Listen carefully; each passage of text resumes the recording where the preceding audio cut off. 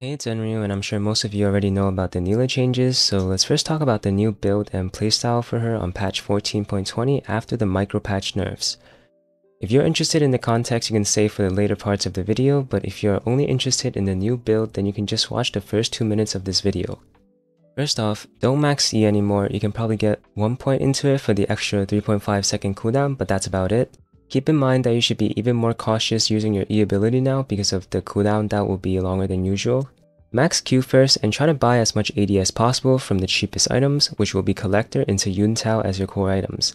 Then third item, build a Last Whisper item like LDR or Mortal Reminder, depending on which one you need more in the game, or Shieldbow and IE.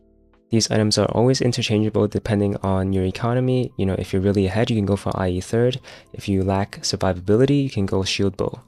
You should stay on the 300 gold boots until at least two items unless there are shoes that have massive value in the game like building steel caps versus a full AD team or merc treads versus full CC team.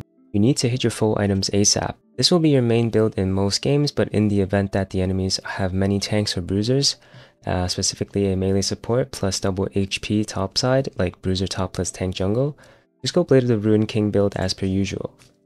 The primary runes are going to be Conquer, Triumph, Bloodline, and Coup. Bloodline gives 85 max HP when it is stacked up, which makes us a bit tankier and synergizes well with our secondary runes, Conditioning and Overgrowth, which are the best scaling runes on Nilah this patch. You can still go Inspiration secondary, but I find it less useful now than the previous patches, and Cosmic Insight doesn't feel good anymore, and I'm willing to lose free boots for more tankiness when everyone does less damage due to the overall item nerfs. For summoner spells, Barrier, Cleanse, and Teleport will be your main options, Barrier is good in general, cleanses for CC, and teleport for when you are playing versus mages in the bot lane. That's it for builds, and now let's talk about the context of why we swapped up Nilah's playstyle like this. Disclaimer, I am disappointed to the changes to Nilah and Riot's overall incapability of understanding how their own champions work in relativity with other champions in the game um, within the same lane, which kind of shows from this Neela change. But I do appreciate the attention that they are giving Nilah and perhaps in a few patches she will be shaped up to be a champion that feels better to play. And right now we might just be going through some rough patches, but I think it should be okay. Also, I think it is by no means necessary or encouraged to attack any Rioter or the balance team for these changes. I think that the Rioter responsible for the Nilah changes, Blake, has done a lot of reflection on the community's suggestions, and he is trying his best, so we should not give him a hard time they discourage him from trying to make the champion better and more popular. On patch 14.20, the original plan was to buff Nilah's E by reducing her E cast time from 0.01 second to instant. And this may seem like a meaningless change on paper, but in actuality it is quite a big nerf in skill expression and a small buff to quality of life. So why is this a big nerf to skill expression? It's because this change removes her E buffer mechanics on displacement spells. Most players don't know this and I doubt most Rioters working on a champion knows about it as well, but Nilah E can negate the CC on most displacement effects similar to Tristana W.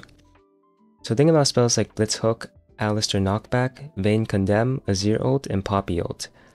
These are all displacements that you can negate if you time it perfectly, and it's not something that is completely game breaking because this mechanic exists on other champions like Nautilus and Tristana as well. It is definitely a form of skill expression that the average player cannot do consistently, unless they practice a lot. With these changes to her E cast time, this mechanic is now removed, and in return, the ability just feels a little bit better to use for the average player, but most players probably won't even feel a big difference.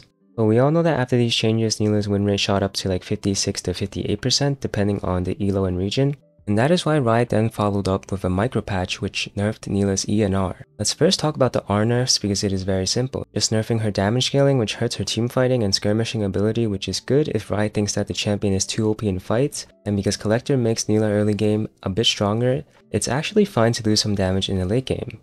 What I find a bit disturbing is the fact that they nerfed her E which is her main damage source in the early game because in terms of early power, none of her skills will feel good to max anymore uh, because of the E-nerfs, and you can only try your best to outfarm and gap the enemies through better wave management. Because contrary to what most players may think, Nilah's Q ability is not the one you want to max first even though it might seem that way. If you read the actual numbers, her Q gets 5 base damage and 5% AD scaling per level, compared to her pre-nerf E's 25 base damage plus lowered CD on her dash per level. This is very important because without her E damage, it's very hard to start fights and even win fights as Nilah in the early game, since she won't have enough damage to finish off the enemy, since Nilah has a hard time getting on top of ranged targets in the first place, and then she has to finish them off with enough damage. And I'm certain that almost no one on the balance team plays her at a high level, otherwise they wouldn't nerf her like this. Because if you played Nilah in Masters and above, you will know that the enemies get better and better at countering her low range. Keep in mind that she can have 2 E charges, so basically this means that she gets plus 50 damage in her combo every time she levels her E, which is huge in the early game. To put this into perspective, at level 5 with 3 points into E, that's an extra 150 damage in her burst combo. As a melee champion that deals with primarily ranged champions in the bot lane, this damage is very important because it is your only way of fighting back against ranged champs. Lowering her early game damage by this much on her E makes unfavorable fights almost impossible to win. This lowers skill expression and promotes AFK farming on the champion, which really doesn't make sense because when you are playing Nilah, you are almost always expected to be down CS versus ranged champions, just because of how range works in the bot lane, and in the game in general. Taking away her skirmishing ability, which is her bread and butter, just doesn't make any sense at all when one item buff is the main culprit for why her win rate is so high. The buffs to Collector made her win rate go super high just because of how she synergizes with the item, but instead of nerfing the collector or hotfixing collector to be a little bit more expensive, we hard nerfed Nilah's damage instead, which is which is kind of unreasonable to me.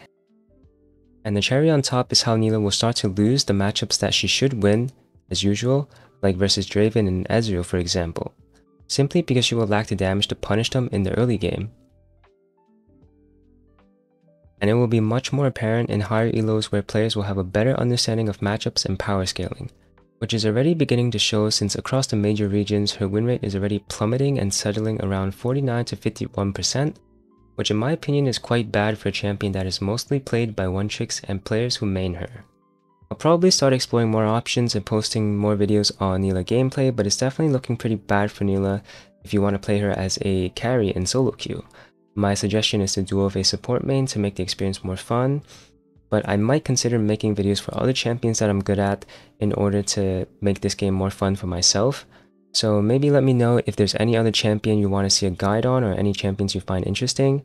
And thank you so much for watching and I'll see you in the next videos.